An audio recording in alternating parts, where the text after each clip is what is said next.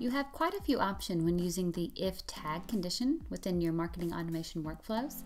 And so, of course, as always, you're going to the properties to further configure the tag and uh, the property of uh, for how we're going to be checking if someone does or does not have a tag. So, of course, you need to specify, uh, you know, which tag. And by default, it assumes that uh, you know this workflow will work uh, for the all those who are applied or given that tag at the point after this workflow has begun. But if you have people in your account who have already had this work this uh, tag applied, you can actually use this option to include contacts that already have the tag when the workflow starts.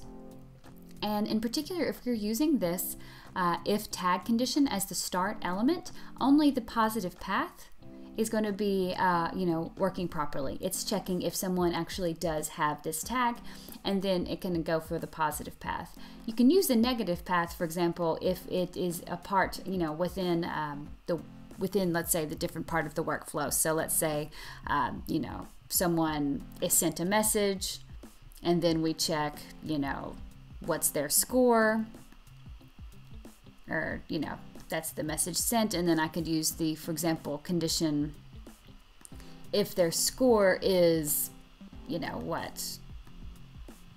Less than 50 if I'm applying scores and then I can see if it's less than 50 you know do they have the brownie customer tag yes or no this is just a quick example. Uh, so you can use the negative path if they to check if they do or do not have uh, a particular tag whenever it's going to be further down in the workflow.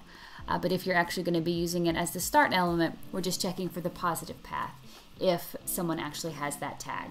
Uh, so if they're applied for it or not, that's the start element. That's how it qualifies someone, you know, so that's logical, of course. That's what qualifies someone to actually enter into this workflow is if they have a particular tag.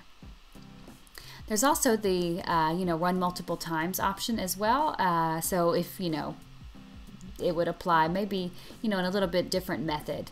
Uh, if you're applying tags in multiple ways or in multiple places and someone, you know, gets a tag and then gets a tag removed and gets it, gets it again or something like that, uh, it could be helpful as well. But usually, by default, of course, you will just be saying, you know, if someone has this tag, then I want to send them a message or I want to, you know, add them to a pipeline, let's say, are some very common ways to do it.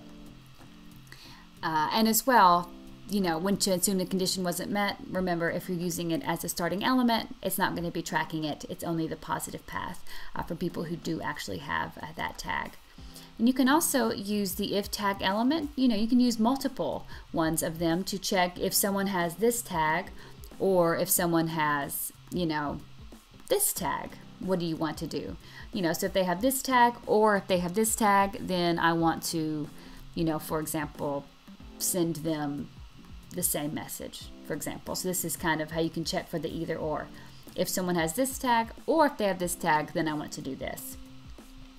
And so the key thing to make sure you, you know, remember about when using this is that, you know, usually it's going to be checking for all of those who get the tag after you save and publish the workflow, unless you turn this on.